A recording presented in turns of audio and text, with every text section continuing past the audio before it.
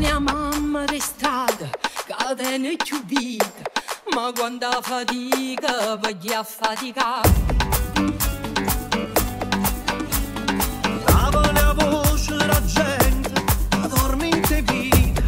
Casa da sta zitta e volesse parlare